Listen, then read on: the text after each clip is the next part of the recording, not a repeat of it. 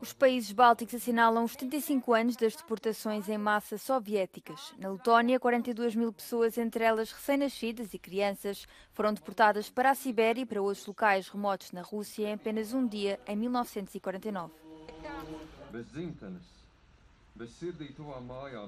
Manam brālītim bija tikai astoņi mēneši. Viņš bija slims tajā laikā plaušu karsūni. Par uh, Bet tomēr, kā klātesamību, izsūtīja mammu un tēti, un viņš izdzīvoja. Es piedzimu tur. Man māsiņa būtu divu gadu vecāka. Tur dzimta divu, divu mēnešu nodzīvoja un viņš palika Krievijā. Es, protams, nekā neatceros, jo es, man bija pusotra gadiņa, kad braucu mājās. Uh, Šodien mēs arī sakam ļoti skaidri gan sev, gan pasaulē, ka ar ļaunumu nevar sarunāt.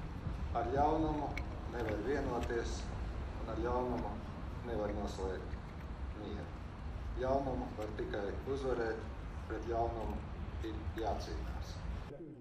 O ato mais agressivo contra os estonianos pela União Soviética foi, segundo o país, a onda de deportações de quatro dias, em que 20.700 pessoas foram presas e colocadas em vagões de gado com destino à Sibéria. Quase 80% destas pessoas eram mulheres e crianças. Milhares de pessoas foram enviadas para esses campos, tendo cerca de 3 mil prisioneiros acabado por morrer na Sibéria.